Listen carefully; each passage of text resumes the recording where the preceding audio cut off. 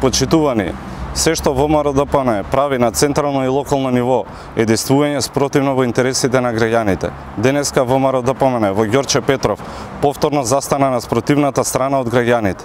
Советниците од оваа партија не гласаа за усвојување на деталниот урбанистички план за уредување на централното подрачје на Ѓорче Петров.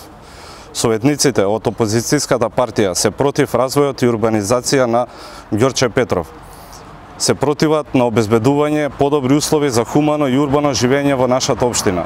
ВМРО ДПМН е директно, директно против развојот на Ѓорче Петров.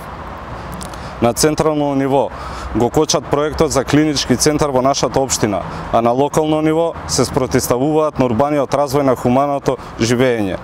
Очигледна е нервозата во опозицијската партија зашто Ѓорче Петров последните 3,5 години се развива и модернизира. Откако цели 12 години под раководство на ВМРО ДПМН беше запустена и запоставена општина. Тоа граѓаните го гледаат. Затоа, со вакви деструктивно однесување, ВМРО ДПМН повторно ќе губи од граѓаните, ќе остане во опозиција, како овде во Ѓорче Петров, така и на централно ниво. Ви благодарам.